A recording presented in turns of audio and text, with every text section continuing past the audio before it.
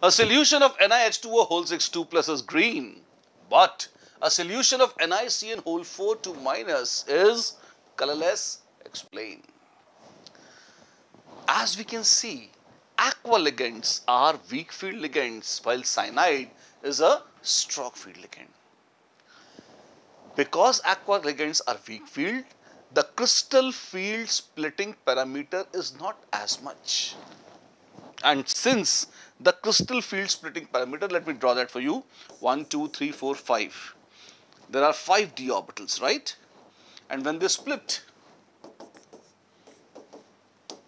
Eg and T2G, now you have nickel 2 plus, which is a D8 complex, 1, 2, 3, 4, 5, 6, 7, 8.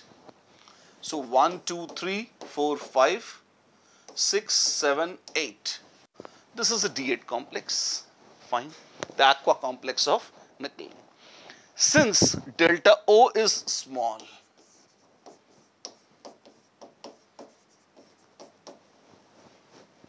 negligible energy is required for excited state.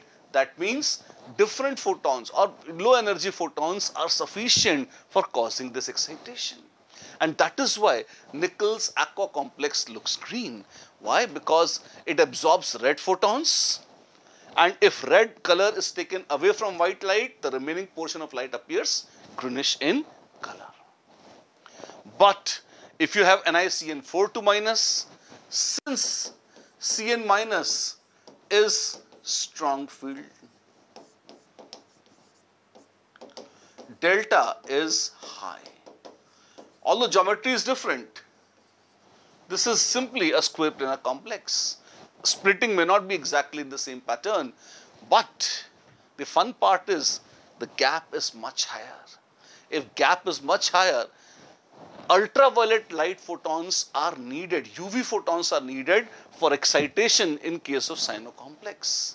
Since the photons which are being absorbed do not belong to visible spectrum, no visible photons are absorbed by this and that is why if white light falls on this, complete white light passes through or it's reflected back and the solution appears to be colorless to a human eye.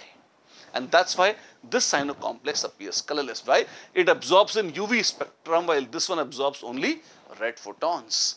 Delta O is less for weak field ligands and delta O is high for strong field ligands. This is the correct reason.